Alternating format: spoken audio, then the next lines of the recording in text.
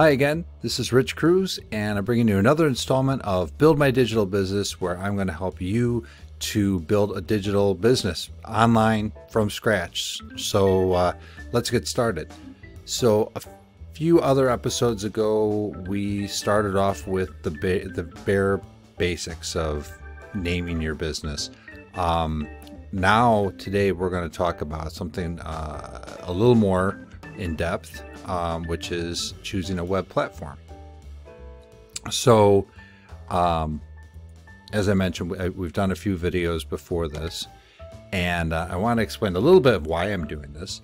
So, first of all, I'm inspired by a lot of the um, business heroes that are out there right now for me who are kind of going out there and giving it all away to the uh, other members of the business community to help them succeed.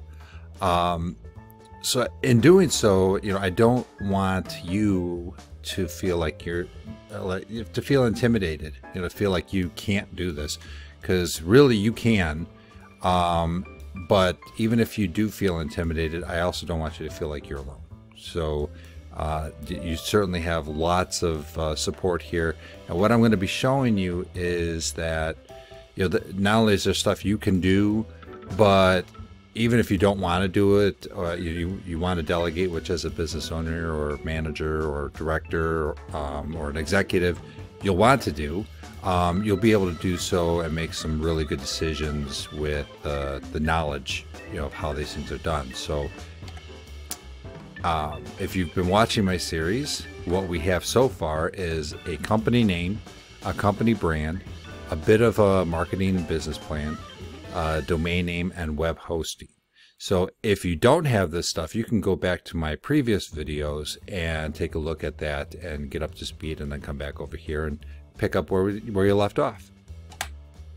So um, this is a oversimplified version of the different web platforms that are out there, but um, I think it's important to kind of make the distinction of some of these.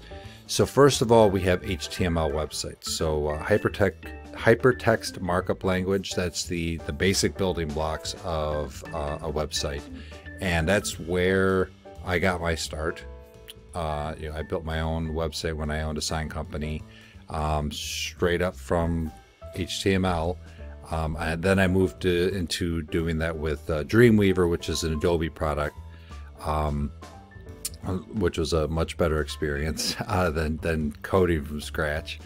Uh, but uh, you know, I, I don't really do that anymore. Um, I certainly you need to know you know a little bit of you know, HTML, JavaScript, CSS, stuff like that uh, to, to to build a good website. But there are a lot of other um, builders that are out there, and that's what we're going to focus on in this discussion here. So um, the second type of platform you can go for is a proprietary website builder. When I say that, I mean proprietary that it own that it's it's owned by your hosting service. So GoDaddy and Bluehost and uh, several of the other hosting companies have their own web builders. Uh, so you can you can you know get started right away with with that.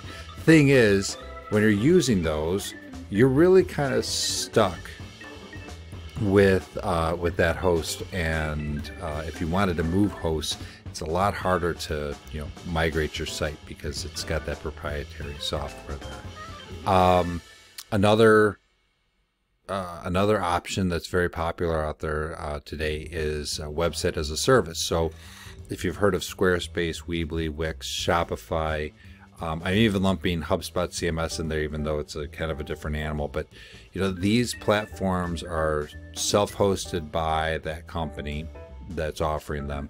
Um, some of them are really good platforms, actually. Um, you know, so I've worked in uh, Squarespace, Shopify, certainly HubSpot, and um, you know, I, I, think there's a, there's a lot of merits to them.